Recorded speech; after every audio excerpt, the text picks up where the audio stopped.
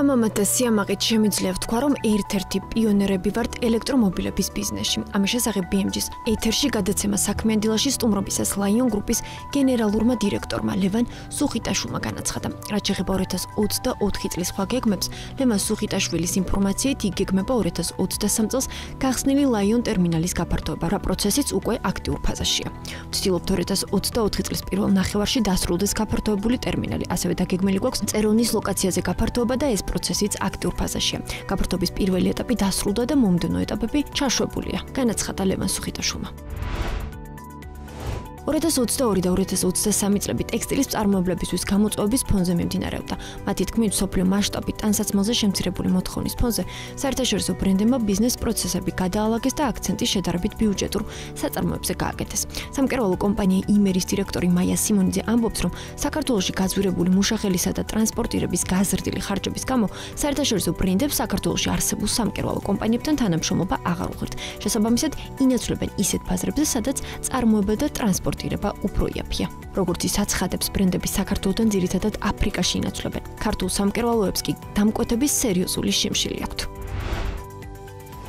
საქართველოს ბანკი როგორც ბიზნესის ერთგული პარტნიორი სამშენებლო და დეველოპერული სექტორის მხარდაჭერას აქტიურად განაგრძობს. ამჯერად ბანკთან თანამშრომლობით ბაკურიანის მთების კურორტი დაბა ბაკურიანში სასტუმროს მშენებლობას ახორციელებს.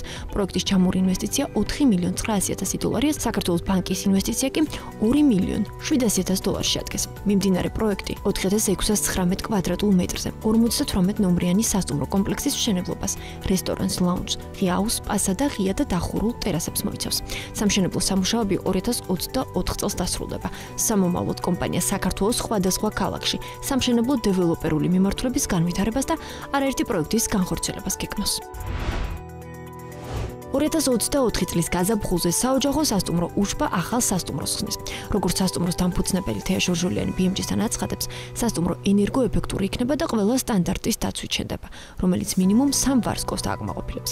საგენდო საწარმოო საქართველოსი გრანტი მოვიპოვეთ და ასევე ბანკის სესხი ავიღეთ, რათა მშენებლობა დაგვეწყო. ამ ეტაპზე მშენებლობის პროცესი მიმდინარეობს და მომავალ წელს გაზაფხულზე უკვე მზად იქნება, რომ დამსვენებელ სუმას მიწელს სასტუმრო 31 ნომრისგან იქნება შემდგარი და დაახლოებით 62 ადამიანის მასპინძლობა შეძლებს. აღწევს.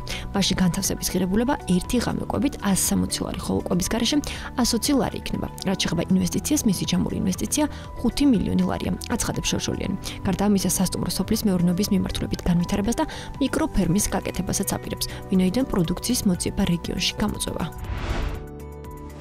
საშობაო ტურების დაგეგმა და ტურებზე ჩავშნების მიღება უკვე დაწყებულია. BMG დაინტერესდა თუ რომელი მიმართულებებია საშობაო პერიოდში ყველაზე მოთხოვნადი და დაახლოებით რა ღირს მოგზაურობა ამ დროს.